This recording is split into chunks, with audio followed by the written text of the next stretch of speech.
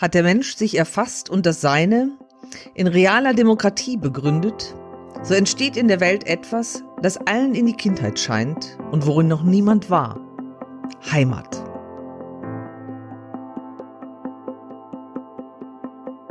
Eine Demokratiewerkstatt ist ein Raum, ein Projekt im Viertel.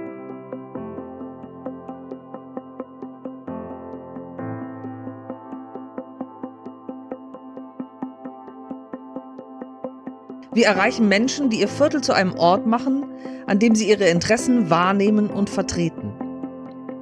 Ganz konkret, demokratisch, zupackend, enthusiastisch. Lernen und diskutieren, neue Fähigkeiten entwickeln. Demokratie lernen ist Barrieren überwinden vor Ort und in den Köpfen.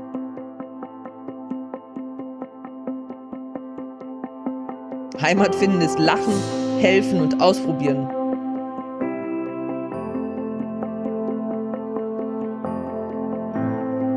Ob Frau, Mann, colored, weiß, Muslima, Christ, es geht nur zusammen. Lösungen finden, Mut fassen und einfach loslegen.